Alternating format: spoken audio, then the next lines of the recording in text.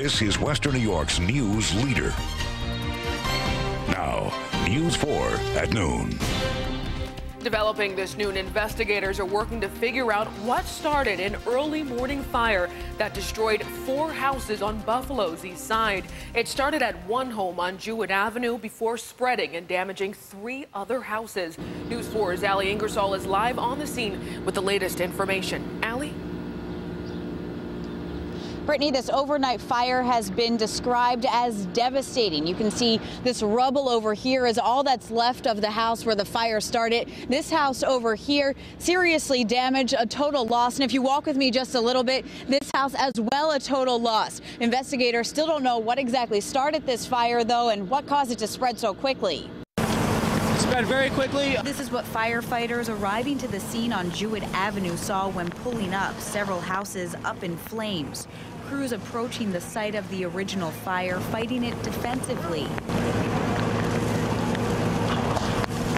The structure collapsing. The building's on fire, and then we put a lot of water on it to put that fire out, and then we go inside. There's the fire damage, there's the weight of the actual water, and things like that. So there, there's a lot. There's a lot of uh, dangers in addition to the fire.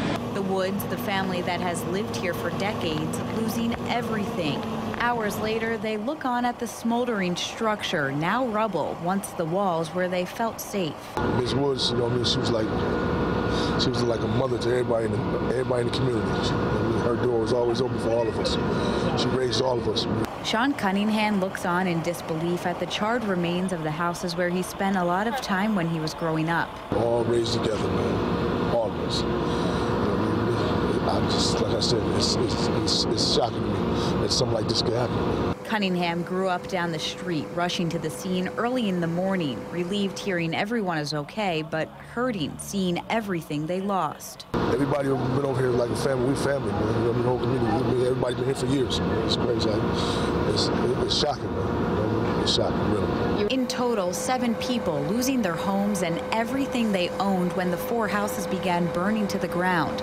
Cunningham telling us everyone in this neighborhood makes up one family who will help each other out and pick up the pieces after this devastating fire. They need help. We all come together. One thing about us, everybody, everybody on Jewett Avenue, man, we, we, times like these, we'll definitely come together. You know, they, you know, all the support they need, we'll be here for them.